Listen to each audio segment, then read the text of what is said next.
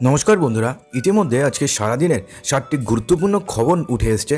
যে ষাটটি খবরের মধ্যে ষাটটি খবরই কিন্তু আপনাদের জানা একান্ত প্রয়োজন। যে ষাটটি খবরের মধ্যে কোনো একটি খবর মিস করলে কিন্তু আপনাদের অসুবিধার মুখে পড়তে হতে পারে। সেই জন্য ইম্পর্টেন্ট ভিডিওটিকে শুরু থেকে শেষ অবধি অবশ্যই সঙ্গে থাকবেন।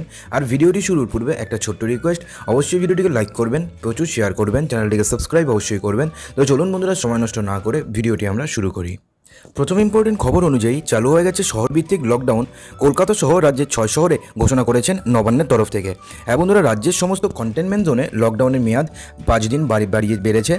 আগামী উনিশ তারিখ পর্যন্ত চলবে লকডাউন একই সঙ্গে কলকাতা সহ রাজ্যের ছয় শহরে পনেরো জুলাই বুধবার থেকে চালু হচ্ছে শহরভিত্তিক লকডাউন এই শহরগুলি হচ্ছে কলকাতা, জলপাইগুড়ি, মালদহ, কোচবিহার, রায়গঞ্জ এবং শিলিগুড়ি। রাজ্যে কিন্তু সমানে বেড়ে চলছে করোনা সংক্রমণ। এই পরিস্থিতিতে সব জেলার কন্টাউন কন্টেনমেন্ট জোনে সাত দিনের জন্য করা করা হয়েছে লকডাউন সাত জুলাই থেকে শুরু হওয়ার কথা ছিল লকডাউনের মেয়াদ, শেষ হওয়ার কথা ছিল মঙ্গলবার। কিন্তু যেহেতু করোনা সংক্রমণের প্রভাব এখনও পর্যন্ত কমেনি সেই জন্য কিন্তু সেই লকডাউনের মেয়াদ আগামী উনিশে জুলাই পর্যন্ত বাড়িয়ে দেওয়া হয়েছে। একই সঙ্গে কলকাতা সহ রাজ্যের ছয় রাজ্যে বুধবার থেকে শুরু হচ্ছে শহরভিত্তিক লকডাউন এবং এবার কিন্তু নতুন করে কলকাতা, জলপাইগুড়ি, মালদহ, কোচবিহার, রায়গঞ্জ এবং শিলিগুড়িতে লকডাউন জারি করা হয়েছে এবং এই লকডাউন চলবে কিন্তু আগামী উনিশ তারিখ পর্যন্ত। এরপরের খবরে রয়েছে, একাদশ শ্রেণীতে ভর্তি হচ্ছে অগাস্টে, যেতে হবে অভিভাবকদের, ছাত্রছাত্রীদের গেলে কিন্তু হবে না। হ্যাঁ বন্ধুরা, ভর্তি কীভাবে হবে এবং কবে হবে তা নিয়ে কিন্তু প্রশ্ন উঠছিল অভিভাবক এবং পড়ুয়াদের মধ্যে। এদিন ফলাফল প্রকাশের পরে সেই উত্তরই দিয়ে দিয়েছেন শিক্ষামন্ত্রী পার্থ চ্যাটার্জি। সাংবাদিক বৈঠকে ভর্তি প্রক্রিয়া সম্পর্কে তিনি বার্তা দিয়েছেন। বাইশ এবং তেইশ তারিখ প্রতিটি স্কুল থেকে দেওয়া হবে মার্কশিট। আগামী এক সপ্তাহের মধ্যে ক্যাম্প করে প্রতিটি স্কুলকে স্যানিটাইজ করা হবে। মার্কশিট অভিভাবকদের হাতে দেওয়া হবে। ছাত্রছাত্রীদের স্কুলে আসার কোনো প্রয়োজন নেই। স্বাস্থ্যবিধি পালন করার নির্দেশ দেওয়া হয়েছে অভিভাবকদের। পাশাপাশি শিক্ষা দপ্তরের সচিব, কমিশনার, স্কুলের ডিআই, ডিএমদের অনুরোধ করা হচ্ছে সুষ্ঠুভাবে যেন এই দুটা দিন মার্কশিট তুলে দেওয়া হয় অভিভাবকদের হাতে। যে সকল পড়ুয়া নিজেদের স্কুলে ভর্তি হবে, তাদের এক থেকে দশ আগস্টের মধ্যে ভর্তি প্রক্রিয়া চলবে। যারা অন্য স্কুলে ভর্তি হবে, তাদের এগারো থেকে একত্রিশে অগাস্টের মধ্যে ভর্তির প্রক্রিয়া চলবে। অন্যদিকে কলেজে ভর্তি প্রক্রিয়া হবে অনলাইনে। গত বছর থেকেই বাংলায় প্রতিটি কলেজে ভর্তি প্রক্রিয়া অনলাইনে করা হয়েছিল। ছাত্রছাত্রীদের ভর্তি হতে কলেজে যাওয়ার কোনো প্রয়োজন হবে না। অনলাইনে সমস্ত তথ্য পাওয়া যাবে। অনলাইনে ফর্ম ফিল করতে হবে, নির্দিষ্ট দিনে ব্যাংকে গিয়ে টাকা জমা করতে হবে। প্রতিটি কলেজের নিজস্ব ব্যবস্থা রয়েছে। কলেজের প্রথম দিনে ক্লাসে রেখে আসতে হবে কাগজপত্র। কোনো সমস্যা দেখলে কলেজ কর্তৃপক্ষ ব্যবস্থা নেবে। কলেজে ভর্তি নিয়ে সমস্যা হবে না বলে এদিন জানিয়েছেন কিন্তু শিক্ষামন্ত্রী। অর্থাৎ যাদের যাদের আজকে মাধ্যমিকের রেজাল্ট দেওয়া হলো, তাদের কিন্তু আগামী এক থেকে দশ আগস্টের মধ্যে যদি তারা নিজের স্কুলে ভর্তি হতে চায়, তাহলে সেই স্কুলে ভর্তির প্রক্রিয়া সম্পূর্ণ হবে। এবং তারা যদি অন্য স্কুলে ভর্তি হতে চায়, তাহলে তাদের জন্য এগারো থেকে একত্রিশে আগস্টের মধ্যে সেই স্কুলে ভর্তির প্রক্রিয়া চলবে। এদিকে লক্ষ্মী লাভের পরেই কিন্তু একাধিক পরবর্তী পদক্ষেপের কথা ঘোষণা করেছেন মুকেশ আম্বানি। এবং তারা ভারতের নেটওয়ার্ক দুনিয়ায় একচেটিয়া ব্যবসা করতে এবার সিদ্ধস্ত রিলায়েন্স জিও। সম্প্রতি রিলায়েন্স জিওতে বিনিয়োগ করেছে একের পর এক সংস্থা, যাকে বলা হয় লক্ষ্মী লাভ। এদিন জিওর পরবর্তী পদক্ষেপের বার্তা দিয়েছেন কর্ণাধার মুকেশ আম্বানি ভার্চুয়াল মাধ্যমে অনুষ্ঠিত হয়েছে তেতাল্লিশতম বার্ষিক বৈঠক। সেখানে তিনি ঘোষণা করেছেন ফাইভ জি পরিষেবার কাজ শেষ, কিছুদিনের মধ্যে লঞ্চ হবে দ্রুতগতির নেটওয়ার্ক এছাড়া Jio TV plus Jio glass এবং জিও মার্ট সহ বেশ কিছু পণ্যের উন্নয়নের কথা জানিয়েছেন ভারতের ধনী ব্যক্তি। বর্তমানে বিশ্বের কিন্তু ছয় নম্বর ধনী ব্যক্তি মুকেশ আম্বানি। অনুষ্ঠানের প্রথমে তিনি জিওমিট নিয়ে বক্তব্য রেখেছেন। ইতিমধ্যে পাঁচ মিলিয়ন ডাউনলোড হয়েছে। এই ভিডিও কনফারেন্সিং অ্যাপ। ভারত সরকার কিন্তু ইতিমধ্যে জুম ব্যবহারে না ঘোষণা করেছিল স্বরাষ্ট্র মন্ত্রক তখন থেকেই ভারতীয় নানা ভিডিও কনফারেন্সিং অ্যাপ বাজারে আসতে থাকে।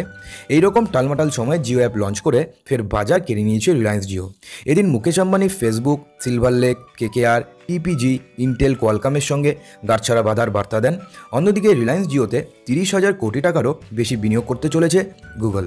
এদিকে অন্য একটি নতুন পণ্য কিন্তু ঘোষণা করেছে রিলায়েন্স জিও, যেটি হচ্ছে জিও গ্লাস। এটি তাদের অন্যতম আকর্ষণীয় পণ্য হিসাবে চিহ্নিত করেছে সংস্থা। জিও গ্লাস দিয়ে হলো গ্রাফিক ছবি দেখা যাবে, যার মারফত শিক্ষকরা যদি কোনো বিষয়ে ম্যাপ বা কোনো কিছু এঁকে বোঝায়, তাহলে তার জিও গ্লাস মারফত হলোগ্রাফিক হিসাবে দেখতে পারবেন কিন্তু ছাত্রছাত্রীরা। অন্যদিকে জিওমার্ট ইতিমধ্যে হোয়াটসঅ্যাপের সঙ্গে কাজ শুরু করেছে। জিওমা জিওমার্ট মারফত খুচরা ব্যবসায়ীরা ভায়া হোয়াটসঅ্যাপ ব্যবসা করতে পারবেন বলে জানিয়েছে রিলায়েন্স জিও। এবার ট্রাই নিচ্ছে নতুন উদ্যোগ, অপ্রয়োজনীয় কোনো এস এম এস থেকে এখন থেকে আপনি কিন্তু মুক- মুক্তি পেতে চলেছেন।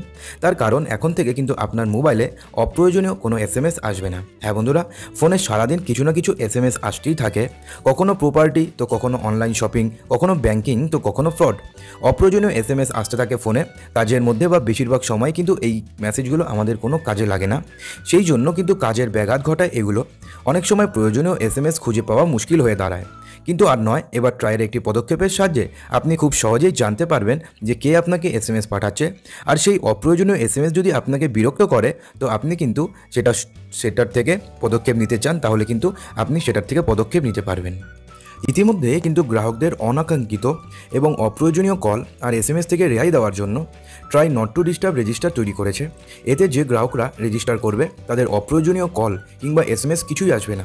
কিন্তু এরপরেও জালিয়াতিরা কিন্তু বিভিন্ন আইডি থেকে এস করে প্রতারণার চেষ্টা করে থাকে। তাই আশা করা হচ্ছে যে এই নতুন পরিস্থিতি, যেই নতুন ব্যবস্থাটি গ্রহণ করতে চলেছে ট্রাই তার ফলে কিন্তু জালিয়াতিদের নিয়ন্ত্রণে রাখা যাবে।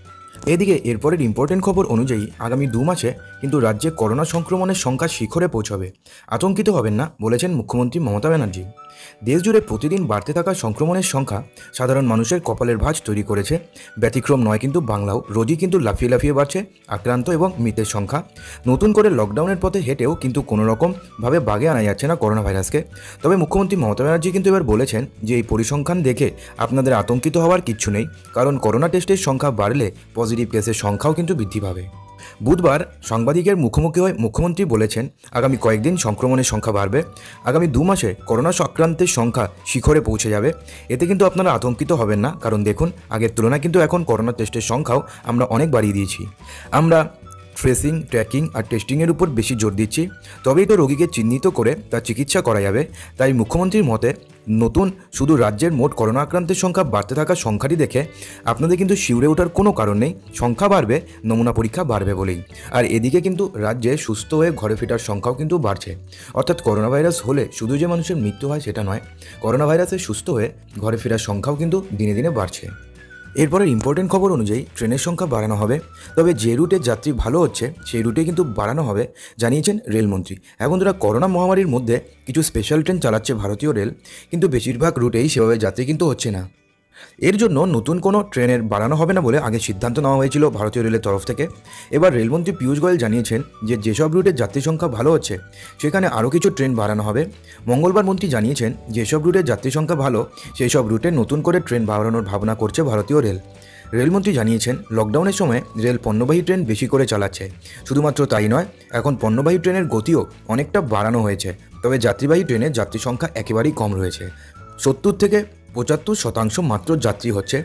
মাত্র চল্লিশ শতাংশ ট্রেনে সব আসনে যাত্রী হচ্ছে। এই চল্লিশটি রুটে আরও বেশি করে ট্রেন চালানোর ব্যবস্থা করছে ভারতীয় রেল। তবে এখনই ট্রেন চলাচল স্বাভাবিক করার কথা ভাবছে না রেল। রেলমন্ত্রী জানিয়েছেন, বাস্তবের দিকে তাকিয়ে চলছে রেল। বেশিরভাগ মানুষই বর্তমান পরিস্থিতিতে ট্রেন সফর করতে চাইছেন না। ফলে এমন অনেক ট্রেন চলছে যাতে দশ থেকে পনেরো শতাংশ যাত্রী রয়েছে। রেলমন্ত্রীর কথায় আমরা একশো পঁচিশ জোড়া স্পেশাল ট্রেন দেশজুড়ে চালাতে শুরু করেছি। কিন্তু যাতে যাত্রী হচ্ছে গড়ে সত্তর শতাংশ। খুব কম মানুষই বর্তমানে মহামারীর সময় ট্রেনে সফর করতে চাইছেন। একই সঙ্গে মন্ত্রী জানিয়েছেন যে, এখন পণ্যবাহী ট্রেনের গতি বাড়ানোর দিকে নজর দিচ্ছে রেল। এখন পণ্যবাহী ট্রেন ঘন্টায় চল্লিশ থেকে পঁয়তাল্লিশ কিলোমিটার বেগে ছুটছে। পীয়ূষ গোয়েল আরও বলেছেন যে, আমরা পণ্যবাহী ট্রেনের গতি বাড়িয়েছি। দেশে সাধারণভাবে পণ্যবাহী ট্রেনের গড় গতি ছিল তেইশ কিলোমিটার ঘন্টায়। তবে সেটা বাড়িয়ে এখন চুয়াল্লিশ থেকে পঁয়তাল্লিশ কিলোমিটার করা হয়েছে এবং সব কিছু যদি ঠিকঠাক থাকে, তাহলে যেই সমস্ত রুটে যাত্রী ভালো হচ্ছে, সেই সমস্ত রুটে কিন্তু আরও ট্রেন বাড়ানোর কথা ভাবছে ভারতীয় রেল। এরপরের ইম্পর্টেন্ট খবর অনুযায়ী, দেশের সাত কোটি কিষাণ ক্রেডিট কার্ড হোল্ডারদের জন্য গুরুত্বপূর্ণ খবর। আগামী আটচল্লিশ দিনের মধ্যে যদি আপনারা কেসিসিতে টাকা ফেরত না দেন, তাহলে চার শতাংশের বদলে সাত শতাংশ সুদ দিতে হবে এমনটা কিন্তু ঘোষণা করা হয়েছে। দেশের সাত কোটি কিষাণ ক্রেডিট কার্ডদের জন্য গুরুত্বপূর্ণ খবর যে, আগামী আটচল্লিশ দিনের মধ্যে আপনাদের কিন্তু কেসিসিতে নেওয়া টাকা ফেরত দিতেই হবে। না হলে চার শতাংশের বদলে সাত শতাংশ সুদ দিতে হবে। চাষিদের ক্ষেত্রে সরকার একত্রিশে আগস্ট পর্যন্ত টাকা জমা দেওয়ার সময় দিয়েছিল। এর মধ্যে টাকা জমা দিলে চার শতাংশ সুদ দিতে হবে। আর যদি কোনো কারণে একত্রিশে আগস্টের দিন পার হয়ে যায়, তাহলে সেক্ষেত্রে কিন্তু চার শতাংশের বদলে সাত শতাংশ সুদ দিতে হবে আপনাদেরকে। এরপরের খবর অনুযায়ী, যদি আপনাদের কাছে ডিজিটাল রেশন কার্ড থাকে, তাহলে কিন্তু আপনাদের জন্য দারুণ সুখবর শুনিয়েছেন মুখ্যমন্ত্রী মমতা ব্যানার্জি। হ্যাঁ বন্ধুরা, যাদের ডিজিটাল রেশন কার্ড ছিল না, ছিল পুরনো কাগজের রেশন কার্ড, তা সঙ্গী করে আবেদন করেছিলেন এবং মিলেছিল আপনাদের স্পেশাল কুপন সেই কুপনের বিনিময়ে খাদ্য সামগ্রী মিলেছিল আমজনতার এখন কিন্তু সেই স্পেশাল কুপনের পরিপ্রেক্ষিতে মিলবে ডিজিটাল রেশন কার্ড, তেমনি সিদ্ধান্ত নিয়েছে রাজ্যের খাদ্য দফতর সেক্ষেত্রে করণীয় স্থির করতে নির্দেশ পাঠানো হয়েছে সমস্ত জেলাশাসকের কাছে। কলকাতা পুর কমিশনারকেও প্রয়োজনীয় পদক্ষেপের জন্য নির্দেশ দিয়েছে খাদ্য দফতর স্পেশাল কুপনের বিনিময়ে ডিজিটাল রেশন কার্ড তৈরির প্রক্রিয়া আগামী সেপ্টেম্বরের প্রথম সপ্তাহের মধ্যেই শেষ করতে চায় তারা। অর্থাৎ আপনাদের মধ্যে যাদের যাদের ডিজিটাল রেশন কার্ড ছিল না, ছিল শুধুমাত্র পুরানো কাগজের রেশন কার্ড এবং সেটার সঙ্গে বা সেটার জন্য আপনারা পেয়েছিলেন একটি স্পেশাল কুপন, সেই কুপনের জন্যই কিন্তু এখন আপনারা পেয়ে যাবেন ডিজিটাল রেশন কার্ড এবং সেই ডিজিটাল রেশন কার্ড কিন্তু আপনাদের আগামী সেপ্টেম্বর মাসের প্রথমের দিকে কিন্তু আপনাদের বাড়িতে চলে আসবে। এরকম কিন্তু ব্যবস্থা নিয়েছে রাজ্য সরকার।